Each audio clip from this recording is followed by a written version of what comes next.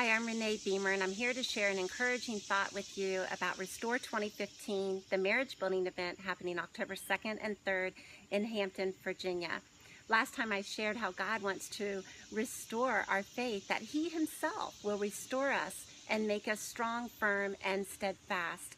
And today, John and I are excited to share that one of the things happening at the marriage building event, we believe, is the restoration in our ability to hear God's voice. This is very important for us in marriage that we would have God's leadership and His direction for our marriage, that we could honor and love one another in a way that brings glory to Him. Listen to Deuteronomy 30, verse 19.